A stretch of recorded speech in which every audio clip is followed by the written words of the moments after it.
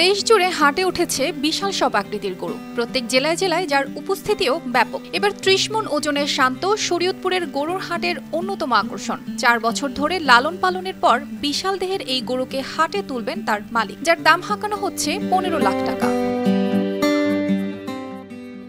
Walton fridge কিনে অনেকের মতো আপনিও হয়ে যেতে পারেন মেলেনিয়া সেরা পণ্যের সেরা অফার।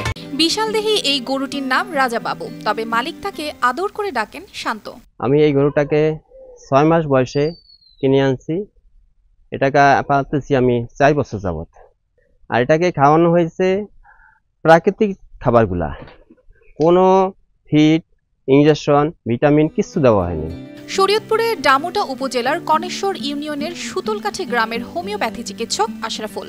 শখের বসে সাদা কালো ডোরাকাটা ফ্রিজিয়ান জাতের গরুটি মাত্র সত্তর হাজার টাকায় কিনেছিলেন। রাজাবাবুর গোসল, খাওয়া ও নিয়মিত মাঠ চষে বেড়ানো সবই চলে নিয়ম মেনে। এটাকে নিজের সন্তানের মতন করে পালা হয়েছে। এটা সর্বসময় ফ্যান দিয়ে রাখা হয়েছে, যাতে করে মশা, মাছি কিছু কামড় দিতে না পারে। তার জন্য পুরা ঘর মশারি দিয়ে আটকে দেওয়া হয়েছে। সারাদিন রাত মশারি নিচে থাকে। এই শান্তকে নিয়ে এলাকাবাসীর উচ্ছ্বাসের অন্ত নেই। এই গরুটার কথা শুনিয়া দেখতে এলাম আমার বর্ষে আমি এত বড় গরু দেখি নাই। এই গরুটা শুনে আসছি অনেক ভালো অনেক বড় এই জেলার এইরকম গরু নাই। এখন দেখে খুব খুশি হয়েছি। প্রাণী সম্পদ বিভাগের পক্ষ থেকে নানা সময় পরামর্শ দিয়ে খামারিদেরকে সহায়তা করা হয়। এবার কোরবানির পশুর প্রত্যাশিত দাম পাবেন খামারিরা আশা কর্মকর্তাদের।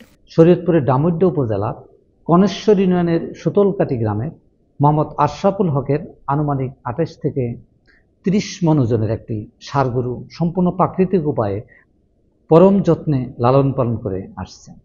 উনি পশুটি পনেরো লক্ষ টাকা দাম হাঁকাচ্ছেন। বাইরে থেকে যদি কোনো গবাদি পশু এবছর ঈদের আগে বাজারে না আসে, তাহলে উনি আশানুরূপ মূল্য পাবেন বলে উনি মনে করেন।